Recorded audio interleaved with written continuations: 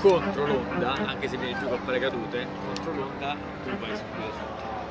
Quindi tu devi andarla a controllare per andare o dietro l'onda o meglio ancora se possibile l'alveo tra le onde parallele. Ma atterrare fra le onde, cioè le onde, le sono onde. così, seconda però no, le onde vengono così e, e quindi del vento. sì. Se il vento non è troppo forte, io preferisco andare, io come, come me, ma come pilota, Sì. preferisco andare nell'alveo. D'accordo, ma vento è in questo momento ha il devo vento andare attraverso contro probabilmente Ah. perché Se non è troppo forte. Se è forte, parliamo 15 nodi superiori, è comunque controvento.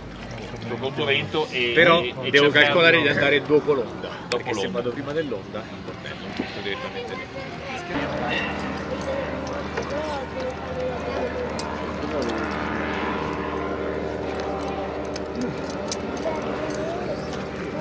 Sì, sì, qui su.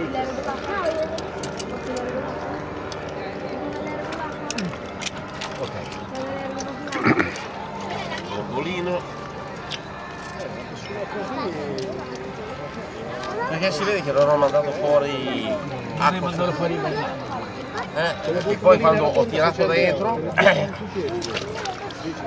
però avrei potuto anche, ormai qua io l'avevo bevuto. Devo studio? Sì. Secondo me è sotto 2000.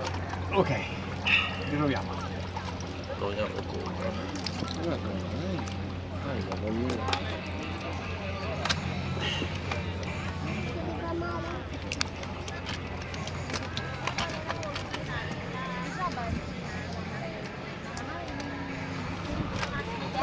Fatto l'impatto?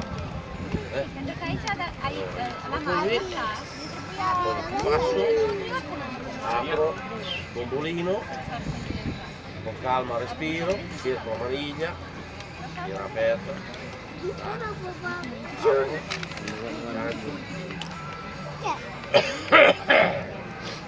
Apro, carico.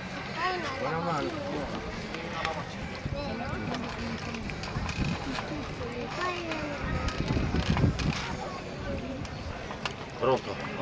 Uno, due, tre.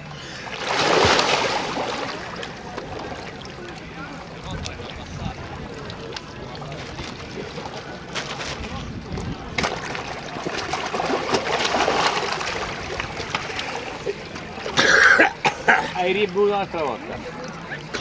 Cazzo, ho mandato fuori e poi ho tirato dentro. Evidentemente non hai sigillato bene intorno con la bocca. Sei un po' abbassato prima. Ehi, infatti, eh. Prima mi arrivava qua. Ciao.